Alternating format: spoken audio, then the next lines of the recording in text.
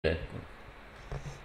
Buongiorno, buonasera, buon pomeriggio, dovremmo essere in diretta e stavolta non siamo sui ricordi del passato, ma finalmente iniziamo un nuovo episodio della scaletta iniziale che quindi per pochi, per chi l'abbia vista, è una scaletta che si concentra su una serie di, port- serie di portare ospiti che scrivono poesie. Oggi con noi c'è Nicola Sabatelli, puoi presentarti. Ciao a tutti, grazie per l'opportunità. Eh, io sono Nicola Sabatelli, un, uno scrittore di versi. Eh, parlando un po' di me, ho fatto il liceo classico, scrivo da praticamente da sempre, anche se quando ho iniziato il liceo, proprio quando ho iniziato il liceo, ho sostanzialmente smesso perché non, avevo, non ottenevo risultati che fossero per me soddisfacenti. Eh, poi piano piano ho ripreso con altri, anche altri generi, altri, altre tipologie di scrittura, fino a che qualche anno fa, durante il penultimo anno di università, nel bel mezzo della sessione estiva, quindi sotto esami e sotto stress vari, ho iniziato a scrivere poesie per necessità, anche se è una cosa che odio dire perché dire che ho iniziato a scrivere per necessità mi... è come se fosse qualcosa di impulsivo e non troppo ragionato quando non è sempre così e è un, è un problema, è una necessità per me scrivere certamente, ma non mi piace dire che lo faccio per necessità, è, è qualcosa di un pelo raffinato che non riuscirei, non saprei in grado di esprimere adesso. E, e da quando ho iniziato, sostan- da quando ho iniziato qualche anno fa, non ho sostanzialmente smesso e qualche mese fa ho, ho aperto questa pagina Instagram preso da un, non so, forse un, un pelo di modestia in meno rispetto al solito. Ehm, per condividere i miei versi e ciò che scrivo e penso. E penso tutto quanto. Okay. Vado f- frequento la laurea magistrale di beni culturali a Parma.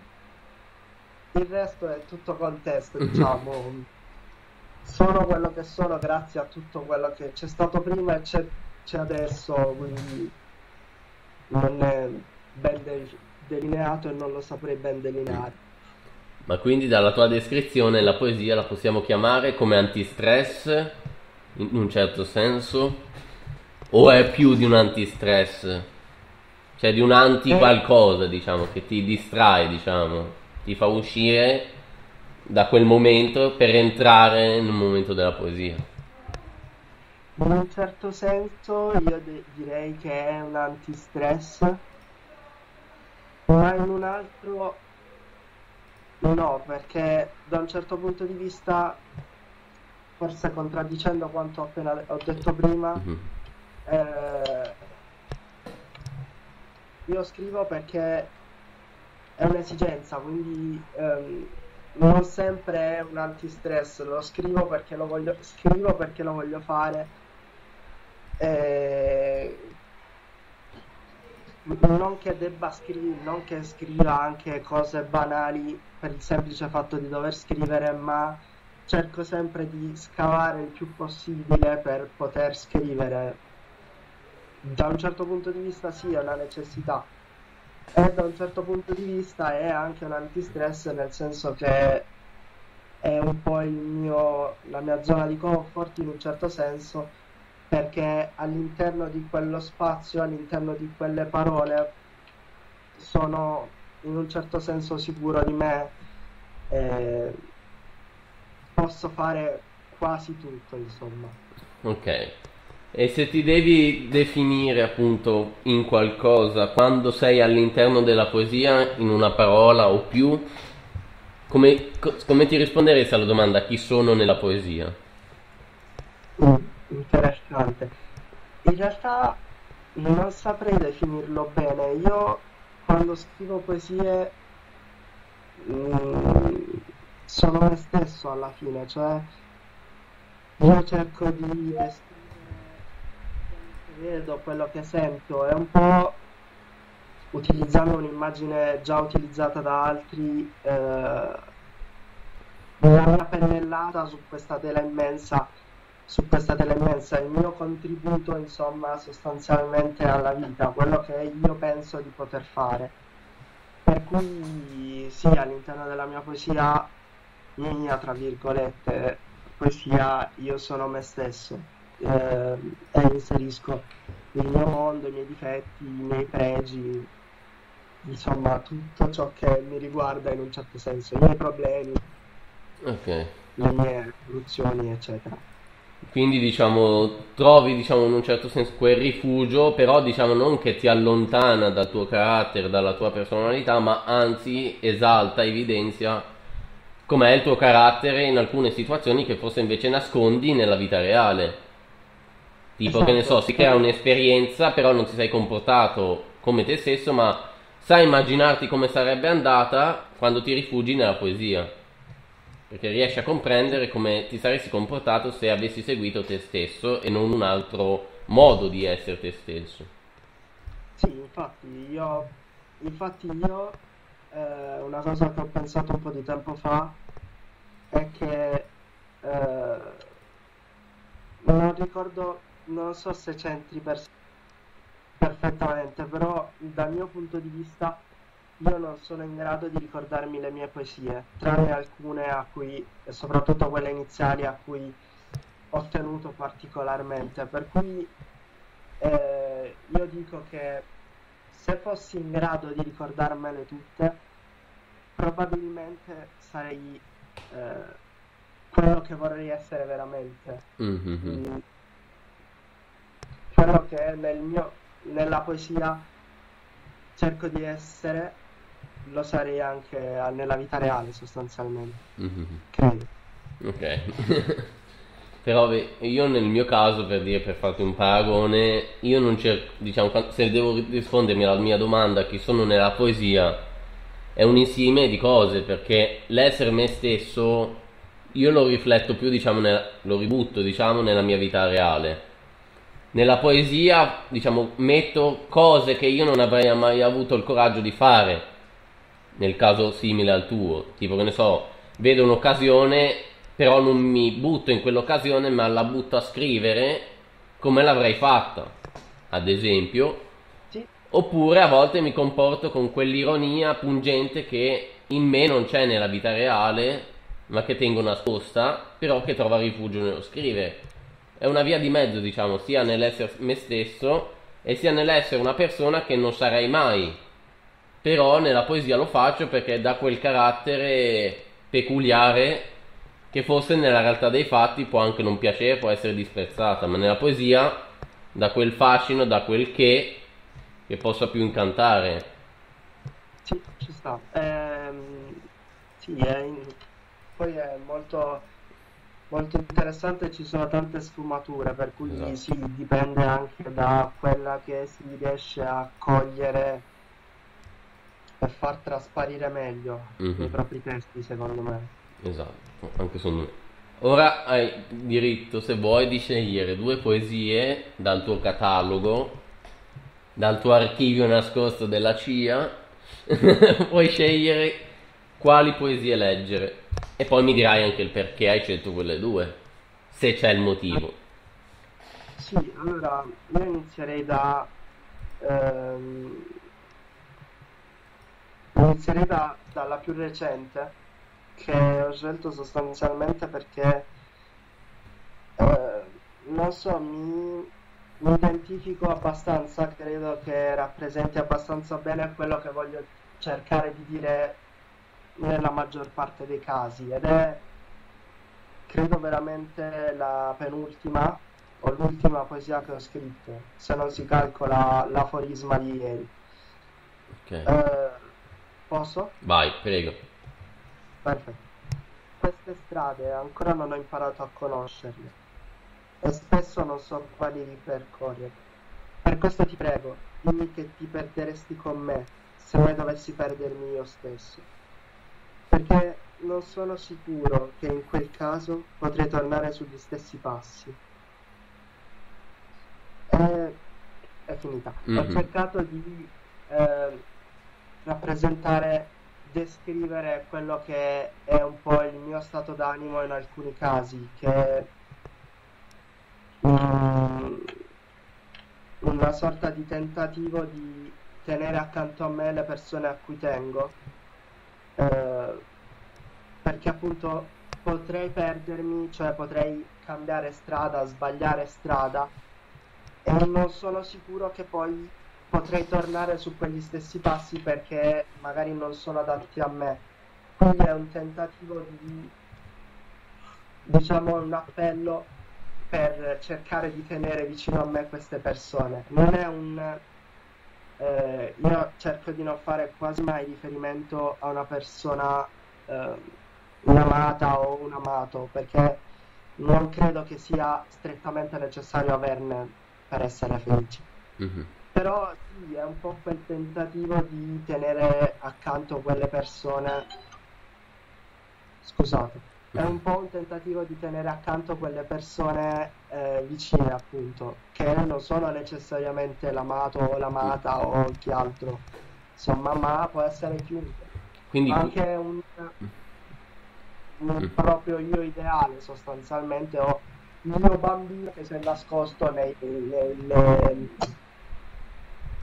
affa- nelle necessità della vita adulta, sostanzialmente, per cui si perde un po' di autenticità, Mhm. diciamo, utilizzando delle immagini già utilizzate, certamente, però.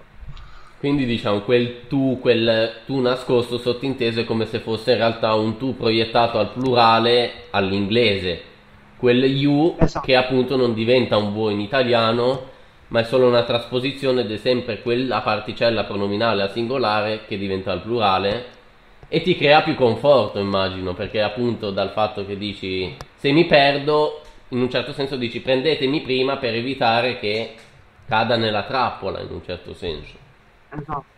O non necessariamente cadere nella trappola, ma eh, cioè non è necessariamente una trappola quella in cui io mi perdo, mm, potrei perdermi, intendo sostanzialmente, ma è anche dovuta a una necessità mia, per cui magari non sto più bene su quella strada, la posso cambiare, ti prego vieni con me. Mhm. È sostanzialmente questo. Ti senti O più al sicuro, in un certo senso. Esatto. allora.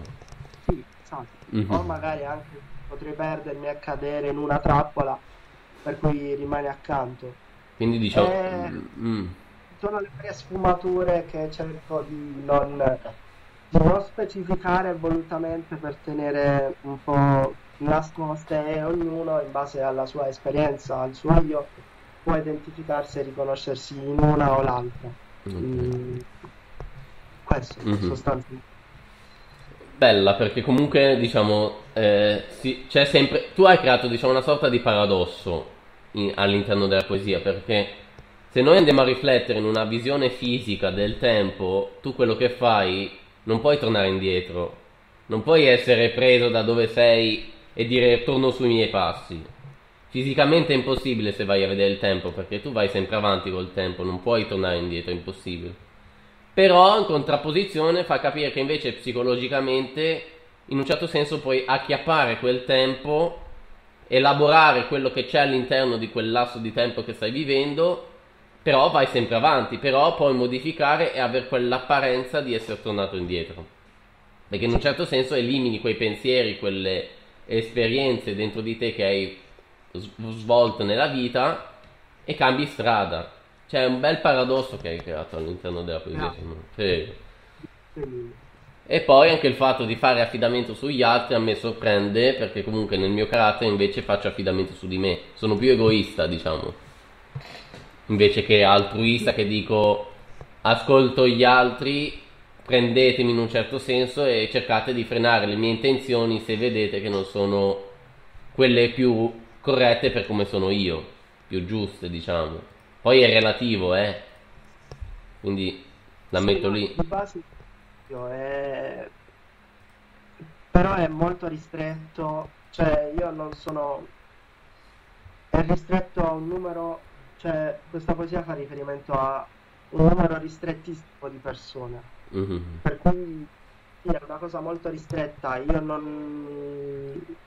non faccio affidamento solo su di me perché molte cose non le so fare e quindi ho bisogno anche delle altre persone sostanzialmente, per cui ehm, non, non posso per questo fare, anche per questo fare un affidamento solo su di me. Mhm. Però magari sì, è un riferimento anche a se stessi, Sì. come ho detto prima, dal- dalle proprie sfumature, da quelle che sono le proprie intenzioni e inclinazioni. Sì, infatti per Mm. quello anche io ti ho detto quel tu proiettato a plurale, però non è un voi, l'ho detto perché voi dà quell'idea di persone esterne a te. Quel tu fa capire che all'interno c'è anche un te stesso di un'ora fa, di dieci anni fa, di cinque anni fa e così via. Per quello ho detto quel tu che rimane uguale, perché voi dà l'idea invece di altri. Poi anche sul fatto che sono poche persone, oh, beh, si dice sempre no, che gli amici veri le conti sulle dita di una mano. E le dita di una mano non sono 30-40 o 788 come dire i termini di Facebook, che quelli sarebbero gli amici, amici tra virgolette, tra tante virgolette. Allora, ora puoi leggere la seconda, guarda, perché dobbiamo un po' accelerare perché siamo già a 20 minuti quasi. Ah, ecco. Per quello, se no potevi andare avanti, guarda. Vai, vai. La, mia la seconda poesia che ho scelto in realtà è una delle prime a cui tengo tantissimo. Ricordo in particolare, ricordo solo questa cosa brevissima, di averla scritta il giorno stesso in cui l'ho pubblicata, poche ore prima che la scrivessi. E quindi ci tengo veramente tanto, nonostante sia passato parecchio tempo e sia cambiato anche abbastanza, probabilmente. Eh, cerca soltanto di non perderti, di non prenderti troppo sul serio e cerca di sorridere, più che poi. Cerca di non abbassare mai troppo lo sguardo, cerca di viverti, cercati ogni volta che serve. Non temere di dare un sorriso a chi lo ricambia e non temere mai troppo le parole, ma cerca di dargli sempre il giusto peso. Cerca soltanto di essere te. È un po' Eh, faccio una parentesi per cui io penso che le mie poesie più belle, quelle che almeno a me piacciono di più, sono quelle che ho dedicato a qualcuno. E questa era una di quelle che ho idealmente dedicato ad una persona a cui tenevo e in parte tengo molto.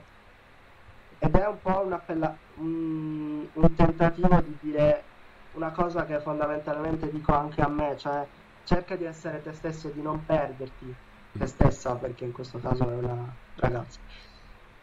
Però voglio dire anche nel mio caso, cerca di essere te stesso, di non perderti e non prenderti necessariamente troppo sul serio alla fine. Vivi anche il momento, vivi quello che devi vivere e non temere neanche le parole.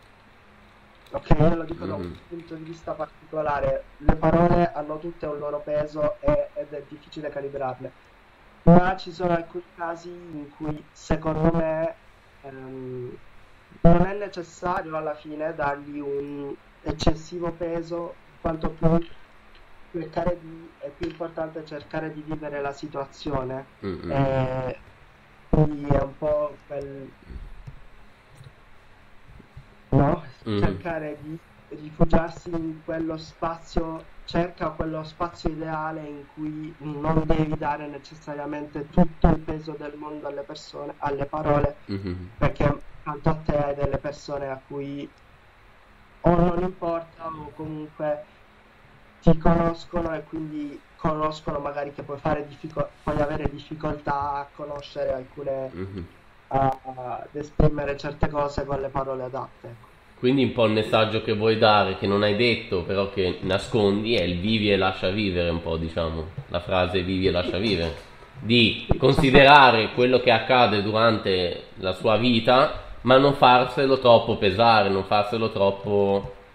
ingigan- non ingigantirlo troppo, diciamo, perché comunque anche lì in generale una- un aspetto che ti dice una persona di te che è esterna nella tua vita, intanto non ha senso già di base perché non sa cosa c'è dietro la tua vita, non sa cosa hai passato, non sa che tutto, non- cioè puoi immaginarselo, ma se tu immagini è limitante la cosa, finché non capisci, non sai non puoi parlare. Poi c'è gente che lo fa lo stesso, ma non ti devi soffermare su questo in generale, secondo me. Perché non ha senso già di base per sé. No, infatti. È un po' quello che ho cercato di esprimere in questo caso, sì. Mhm. Quindi grazie per averlo, Eh, perché la mia poesia è stata compresa, insomma. Sì, perché appunto tu si vede anche il fatto che tu questa persona la conosci e non è una tua immaginazione dal fatto che l'hai vista una volta e basta. Cioè fa capire che dietro c'è una conoscenza, c'è stata o c'è, non lo so, però di sicuro qualcosa c'è stato. Conoscenza dico, eh, non una relazione, un rapporto, però basta la conoscenza, il sapere dell'altro. E il sapere dell'altro è molto di più di un'immaginazione. Lo vedi anche quando una persona, che ne so, ha avuto un momento difficile. Se tu la capisci è più facile addentrarsi in lei e aiutarla. Mentre se ti limiti a immaginare senza aver vissuto quell'esperienza come quella persona, è difficile. Per quello dico spesso che l'immaginazione e il capire sono due confini molto netti, decisi.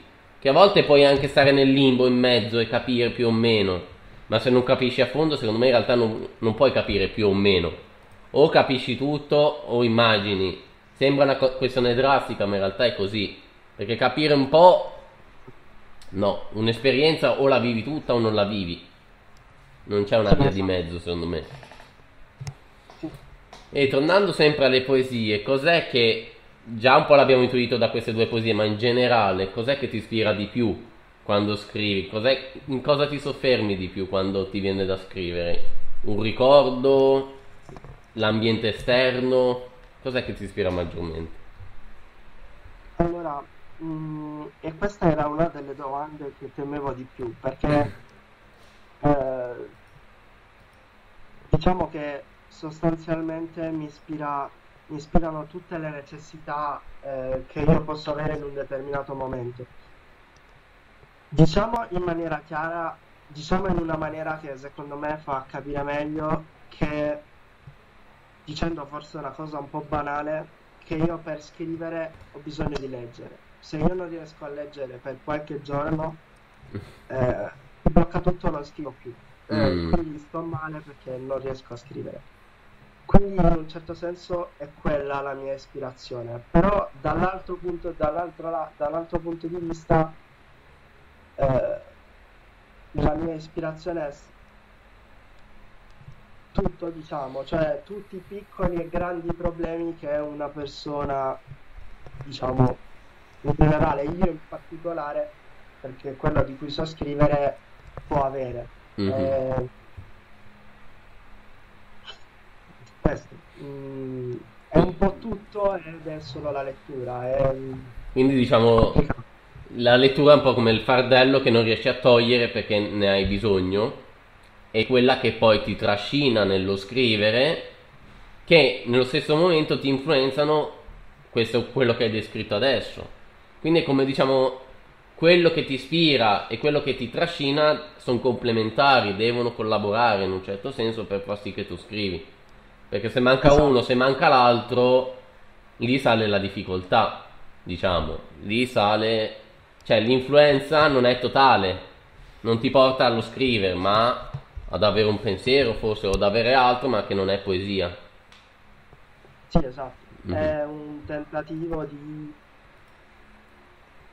conoscere il modo di esprimersi delle altre persone per poter acquisire io un modo diverso per esprimermi che magari è più efficace. Mhm. Mm, Non è necessariamente un modo di, anzi, non è un modo di eh, corrompere, diciamo, quello che sono io, quello che direi se non, se non conoscessi o non avessi letto, diciamo, quelle determinate parole o quei determinati versi o non avessi visto un determinato film o sentito una determinata canzone. Mhm. Anzi, probabilmente non ci sarebbe neanche un modo, un mio modo di esprimere eh, senza queste cose. Mhm. E- Eh, mhm. vai vai No, avevo finito, è Mhm. sostanzialmente un, un- ascolto te e poi tu cerca di ascoltare me, insomma. Sì, un aspetto Eh, reciproco. E, diciamo. qui- e quindi, dato che è complementare l'attività di lettura prima di scrivere una poesia, immagino che questa lettura comunque ti abbia un po' influenzato quando tu scrivi una poesia. Quindi ti chiedo chi ti ha più influenzato nel tuo scrivere, di scrittore, cantautore, filosofo, psicologo e così via. Allora, anche questa era una domanda a cui ho molto pensato perché non saprei forse eh, rispondere in una maniera chiara e soddisfacente. Mm-hmm. Anche per me, io vorrei sapere chi mi ha influenzato in maniera particolare. Diciamo che eh, io ho iniziato a scrivere eh, grazie a un autore in particolare che è Simone Savogin. Ok. Uno slammer bravissimo dal mio punto di vista. Grazie a cui ho conosciuto diciamo quel mondo, il mondo della slam poetry e tutto, tutto, il mondo della poesia in generale. E infatti all'inizio ho cercato di scrivere in quel modo con, attraverso quell'utilizzo delle parole e dei suoni. Però poi piano piano mi sono discostato perché appunto non era molto il mio linguaggio diciamo quindi è, è un po' un, un misto Um, io sono molto influenzato, è vero, dalle, da quelle, dalle poesie di quel mondo, in particolare da quelle di Simone Savogin, ripeto, eh, in alcuni casi. Eh, però diciamo che non saprei definire bene un, un autore in particolare. Mi ha, mi ha, ispirato molto, mi hanno ispirato molto anche delle poesie di Ungaretti per dire o Ehm, di Montale, Pasolini o anche la stessa Alda Merini. È un po' un... un non saprei dirlo nello specifico, è un po' un grande calderone diciamo da cui pesco di volta in volta senza sapere mm-hmm. bene magari quale ingrediente in un certo senso mettendola così è un, è un mash diciamo fai un mash di più autori che ti hanno colpito profondamente o non profondamente e da lì ti viene una tua elaborazione del tuo modo, diciamo, però frutto di questi poeti, poetesse. Sì, ho anche influenzato molto anche la eh, influenza molto anche la musica. Io non ho un ricordo bellissimo, diciamo, di una poesia che ho scritto grazie a una, una canzone di De André eh, di cui adesso non ricordo il nome purtroppo. Eh, quindi sì, mi ispira, mi ispira, mi ispirano molto le canzoni a volte o anche i film. Eh, mm. I film mi ispirano molto perché amo il, cioè, il cinema in generale, quindi mm-hmm. ho, ho quell'influenza diciamo garantita, mm-hmm. cioè data in quel mondo mi piace, quindi spesso pesco da lì qualcosa, insomma. Ma diciamo nell'influenza dei film è un'influenza diciamo diretta nel senso che tu trascrivi una poesia in base a una scena che vedi di un film o indiretta nel senso che tu vedi quella scena e tu elabori un tuo modo di vedere quella scena o di quel modo di comportarsi? O un insieme? No, io direi che è per lo più un'ispirazione indiretta, cioè magari in un film viene affrontato un problema e io cerco, magari quella cosa mi, mi fa scattare una lampadina e io cerco di riproporre, di dare il mio punto di vista, ecco. Mm-hmm. Um, cerco di trovare una soluzione, tra virgolette. E, ehm, quindi sì, è in diretta perché cerco di trovare una soluzione a quel problema, ma è anche diretta se vogliamo perché magari vedo una scena, cerco di trascriverla, diciamo, eh, con le mie parole. Infatti per un certo periodo, divagando forse anche un po', ho cercato di descrivere, del, raccontare delle storie, diciamo, proprio mm. per come se dovessi appunto trascrivere una scena per voler raccontare un problema e Mhm. magari cercare una soluzione, come alcune canzoni alla fine.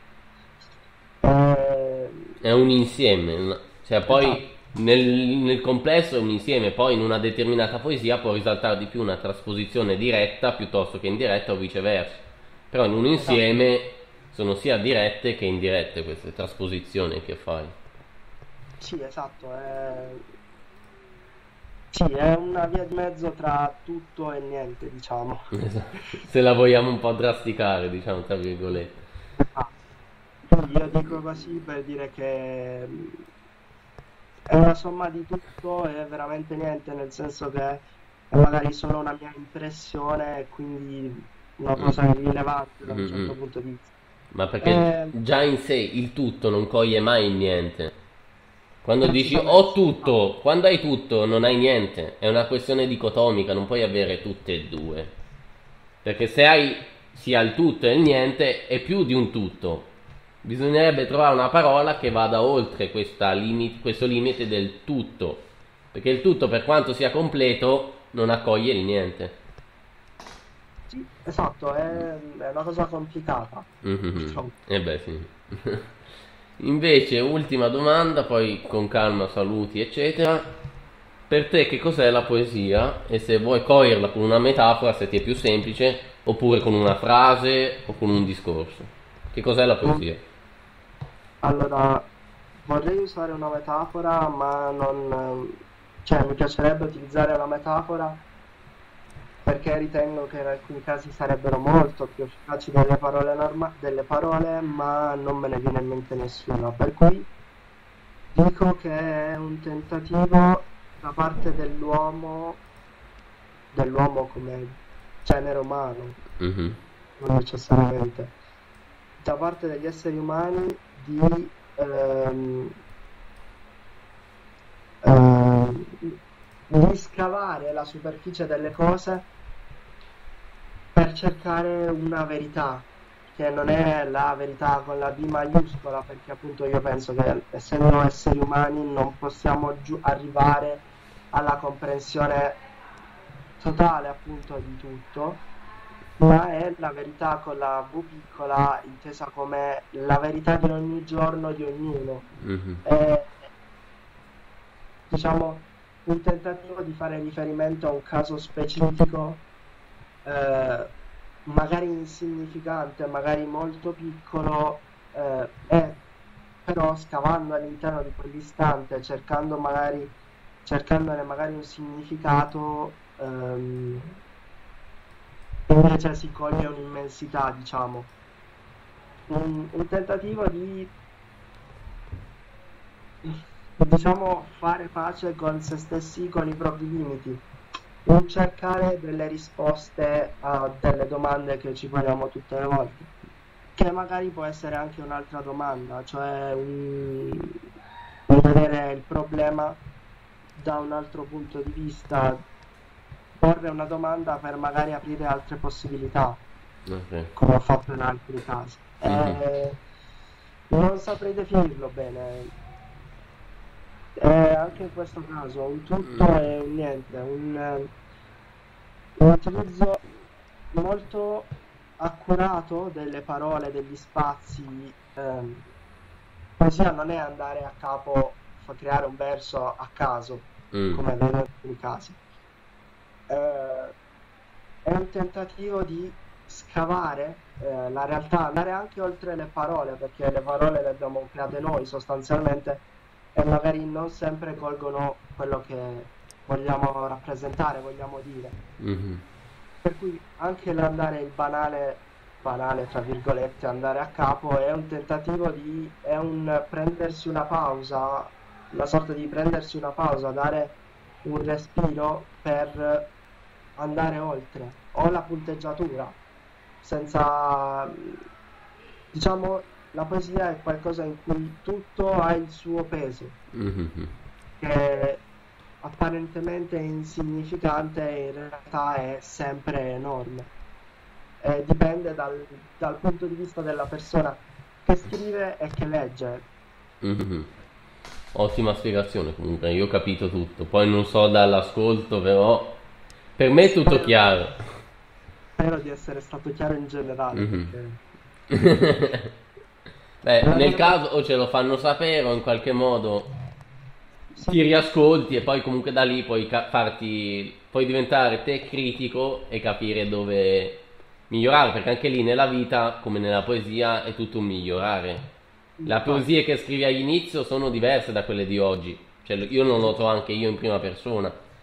Quindi anche lì non è che bisogna cogliere un momento come difetto, ma come un punto per migliorare se stessi ed altro, cioè anche io mi rendo conto di avere delle difficoltà, ma so che riascoltandomi o con il giudizio delle altre persone posso andare meglio.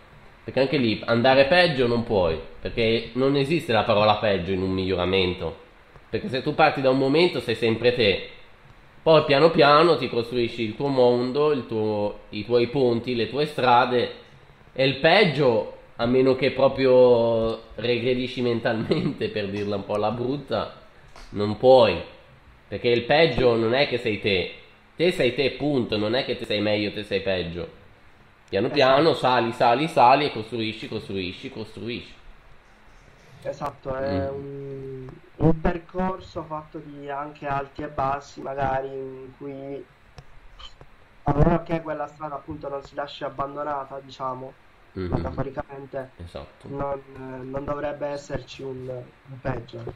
Cioè il peggio anche lì, i bassi ci sono, ma non è che quel punto basso è molto più basso di- della tua partenza, per intenderci. No. C'è sempre un crescente iniziale, poi arrivano i bassi, è naturale, siamo umani, non è che tutta la vita possiamo essere strafelici. tu- di- C'è gente che ci riesce, è difficile.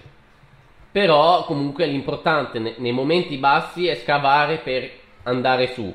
Sembra un paradosso, però è così. Perché se tu scavi vai in alto, perché è già un miglioramento l'atto che tu ti rendi conto di scavare. Perché molte persone purtroppo si lasciano andare e non si rendono conto che in realtà se ti- sei consapevole di scavare riesci. Se non sei consapevole di scavare vai in basso. È un po' come io faccio la metafora del pozzo, quando tu sei in difficoltà sei dentro questo pozzo. Se tu inizi ad essere consapevole di essere dentro quel pozzo, ti rialzi, risali, cerchi un modo. Se ti lasci andare e non sei consapevole, rimani lì. E non è che vai più giù, perché il pozzo è lì. A meno che scavi tu sotto in maniera, diciamo, frenetica, senza essere consapevole, sali, vai in alto prima o poi. È questione di consapevolezza, in sostanza. Esatto. eh. Sì, precisamente. Mhm. È un lavoro duro, ecco, diciamo. Beh sì, ovvio. Me ne rendo conto anche io. Allora, questa era la diretta, non diretta, non lo so, ma comunque l'episodio, perché dovrebbe uscire prima o poi. Ovunque lo vedrete, Spotify, poi faccio anch'io la storia su Instagram, eccetera, anche Nicola. Quindi re- potete recuperare tutto. Nicola, saluti, vuoi salutare qualcuno, qualcuna, qualcun? Eh, no, non in particolare, grazie, grazie dell'opportunità, grazie a tutti quelli che mi ascolteranno e daranno importanza alle mie parole, Mhm. per cui potrò essere un... aver- dare uno spunto di pensiero, insomma. Mhm. E, e nulla, grazie a tutti, buon, buon proseguimento e buona vita. Allora, noi ci risentiamo per il prossimo episodio che ancora lì, ammetto. Io non so se sarà episodi del passato, ricordi del passato, un altro ospite o un'altra ospite, ma comunque restate sintonizzati perché il podcast è sempre presente e con una sorpresa dietro l'angolo. Noi ci rivediamo presto e nulla, spero, avete, spero che abbiate gradito questo episodio, anche questo improvvisato, e noi ci vediamo alla prossima. Ciao a tutti! Ciao a tutti!